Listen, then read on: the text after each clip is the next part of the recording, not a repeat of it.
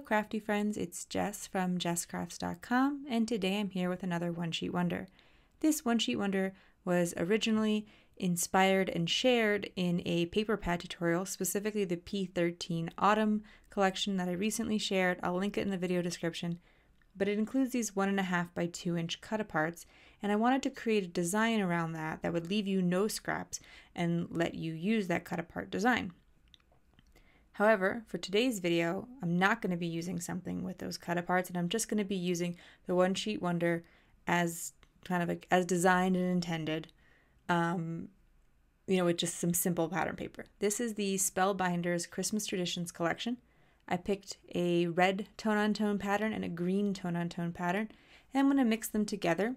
You could, of course, just do this with one sheet of paper. You don't need to use two, but if you like to mix up the colors and you have single sided paper, Two sheets will let you do that. Um, if you have double sided paper, a lot of times you can just use the design from each side.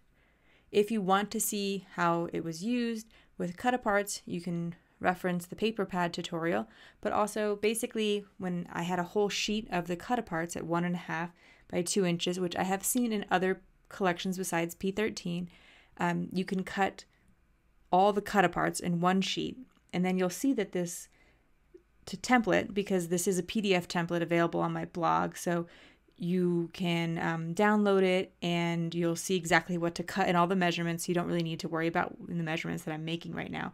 You'll cut one where it's all just the cut aparts, and then this this template is broken in half. So it shows you how to cut half of the paper into the strips that you need.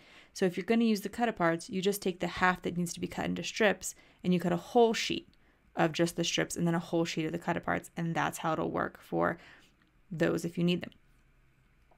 Today's template is going to have eighth inch mats because I always like to, I don't always use them, but I really do prefer the mats now. I've kind of gotten used to the way that it looks, and I do think it provides a more finished look on a um, on these simpler cards but you could go without the mats. But they're going to be an eighth of an inch today. And if you go any bigger, everything just doesn't kind of work out on this card. I usually prefer the quarter inch just because the measurements are a little bit easier and more straightforward. And I find when I do eighth of an inch, I'm more likely to for things to just not look even on all sides. And it's probably user error. It's probably that I cut too quickly and I don't measure as precisely or something like that. But I'm just more of a quarter inch kind of person in terms of what I like. But this one had to have the eighth inch to make it work. So basically, you're going to cut two long rectangles for the top and bottom of your card, and then two mats for them. And then you're going to cut the three one and a half by two inch pieces that, you know, again, were inspired by those cut aparts, inspired by the necessity of making that paper pad tutorial work without scraps. Now, what becomes awkward is you're left with this little tiny three quarters by one and a half inch piece um, that in the paper pad tutorial, because I was using cut aparts and they had images all over them, I didn't want to do it the way that the sketch suggests. That you'll be also, you know, the sketch. So the template and the sketch are part of the download. So that's over on the blog. You you know, you'll see how it works out and all the measurements are on the sketch as well. But you have this little strip and it doesn't work so well when you're using cut aparts, but when you're using regular pattern paper, it does. So maybe you don't need that little strip or maybe you don't like it and you don't care about scraps, you can just toss it. Or you can put it on the inside of the card and make a little banner. But today I want to show you the way that I kind of intended the sketch, which was to take this little piece and use it as a sentiment focal point on your card. Originally, I was going to place it off to the right as it shows in the sketch, but you can place on whichever one of them works for you. And when I ultimately decided on the design, I placed it in the center. When you are assembling this One Sheet Wonder, I would recommend placing the strip on the top and the bottom first so that you can make sure everything is equidistant um, from the top and bottom of the card and the sides and all that. And then take your two of your one and a half by two inch rectangles and place those down, lining them up with the outside edges of those long pieces. And then finally, just centering your middle rectangle.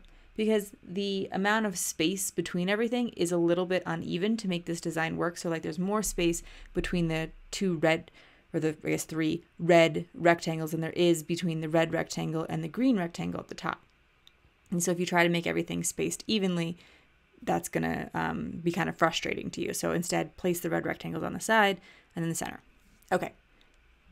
Finishing off the card, I decided to use die cuts today. I like to color and I like to feature stamps, but I know that not everyone is into it, so I just kind of wanted to show like how I might finish off a card with die cuts. Plus, I have some die sets that just don't get a lot of use, and so I wanted to encourage myself to to do something that's a little bit different for me and uses some different supplies.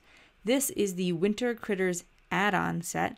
I really liked working from Lawn Fawn, and I really liked working with the Lawn Fawn Critter Critter Huggers, and they're really cute. I have a ton of videos on my channel about how to use them, and I made all kinds of different animals with them. Like I think it makes like three animals in the original, but then I thought of all kinds of different ways to use it. And I made like a pig and a cow and a sloth and all that with the critter huggers. But these are the accessories, the winter accessories. And I'm going to use their accessories as like the focal points of my card. And I'm going to use two mittens and two presents. And I cut them out of craft and red cardstock and green cardstock for the bow. So just to kind of match up with the different colors in my card here. There are going to be four cards in total. I'm just showing you one completed card. And I also used a Feliz Navidad sentiment, which is from a Taylored Expressions stamp set. It stamps a whole bunch of Christmas sentiments at once and die cuts a whole bunch of Christmas sentiments at once. So it's really convenient if you're making a lot of cards, but you wouldn't mind having a few different sentiments. So this is going to be one of the four completed cards. And that will be it for my video today. If you like this video, please give it a thumbs up and leave me a comment or share this video. If you'd like to see more videos about how to use your supplies, such as One Sheet Wonder tutorials, please subscribe and click the bell to get notifications. I will link all the products I can in the video description and link you to my blog where you can download any templates or get more information. For even more inspiration, come find me on Instagram or check out these two videos here at the end. Thank you so much for watching and have an amazing day.